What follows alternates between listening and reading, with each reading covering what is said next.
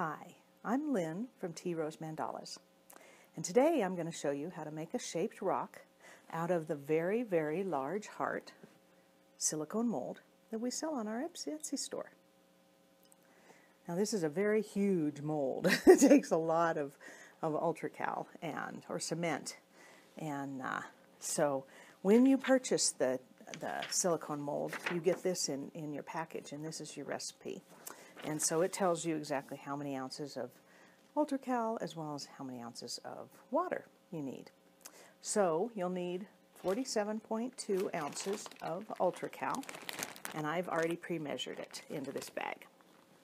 And then you'll need 19.7 ounces of water. I usually use warm water because I'm using my hand to mix it up, and that's just much more comfortable. You'll need a bowl to mix it in. You will need a uh, scale in order to uh, measure it out. And I like the scales that uh, have the tare feature, and that means just pushing it back to zero. So you can put something on it and then push the tare button, and then it'll mark that as zero. And so that makes it easier so you don't have to keep weighing things and then try and mix them all together. And then you'll need a, a rubber glove and a spatula to get all the rest of the UltraCal out of here. And you will need your silicone mold, and we're going to use the mold riser today. This is something that you can get on our Etsy store. And basically, it allows the, you to put the, the mold on it, and it keeps it up off the surface. And so that way, when it dries, the gravity will pull it down a little bit, and it'll make the top of the shaped rock a little bit more round. So, let's get started. So I've gotten everything together. I've got my scale right here, and I've got my bowl. I've got my pre-measured UltraCal, and so we're going to pour the UltraCal into the bowl.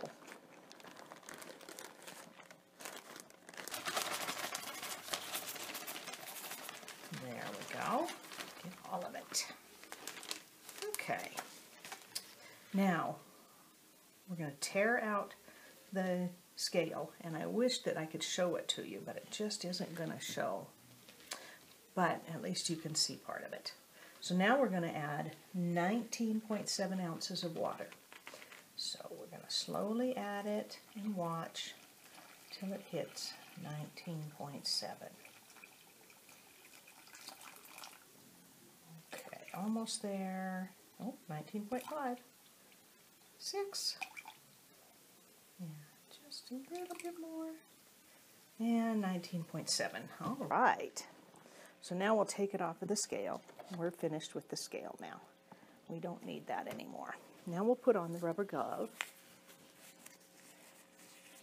And it's just easiest to mix this.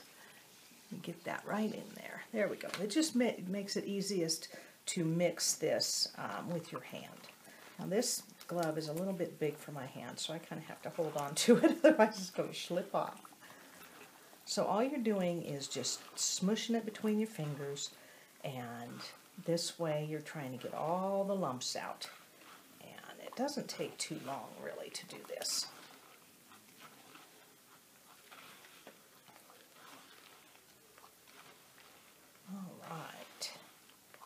Almost there. You kind of got to go as, kind of a little slow because you don't want a lot of air bubbles and you don't have a lot of time to be letting it sit and let those air bubbles go away because it'll start setting right here in the bowl.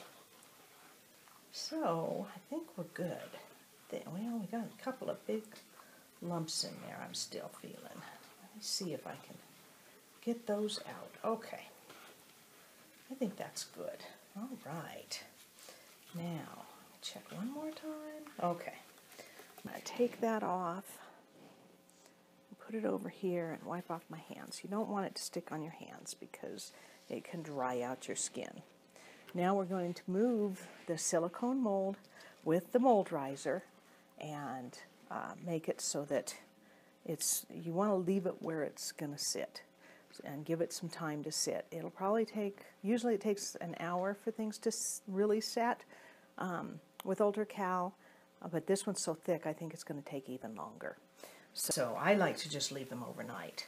So now we're just going to pour this in. We're going to go a little slow so that we don't make any air bubbles. And you can see some of the some of the lumps in there as it's coming out. I don't know if you can see that. Maybe I should use my left hand. That way you can see it just a little bit better. And just pour till you get to the top. See, I rushed on that one. And now, let me see if I can get just a little bit more out of here. There we go.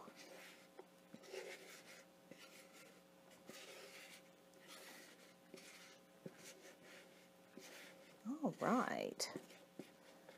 Okay. Oh, too much. It's spilling out. We'll just have to let it spill out. All right. Okay. Now I'll have to clean all that up. And I'll clean it up in a little bit. All right, so the best way to clean this is to take, I like to use a wet paper towel and clean it off. And then do the same thing with the bowl. Just clean it out and try and get as much as you can out of it because I don't want this to go down my drain. I don't want cement to harden in my pipes. So there we go. And then I take a dry one. And then I'll just throw that paper towel away is what I'll do. All right. So now we're going to let this set for a little while and, uh, and see, it'll allow it time to be able to um, set and then we'll come back and we'll take it out of the mold. See you soon. Hello again. So we've waited a few hours and our rock is looking really good.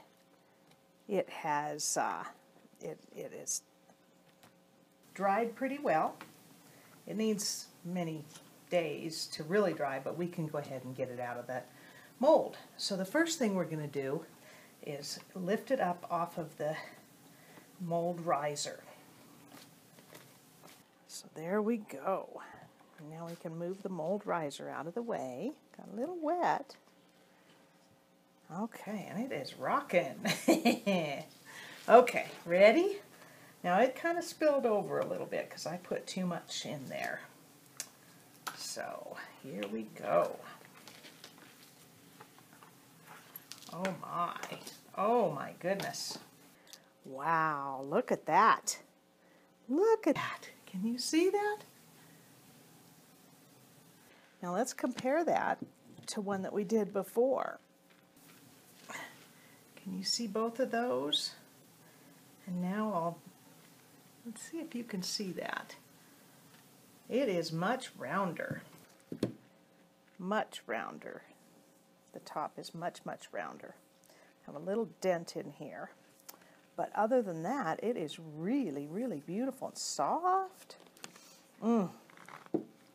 Now I'll leave this for a good week or two to let all the moisture come out of it. Well, thank you so much for joining me. I hope that uh, if you like the video, please put, put a like down there and subscribe to us on our uh, YouTube channel and come visit us at TeaRose Mandalas on Etsy. Thank you so much. Bye for now.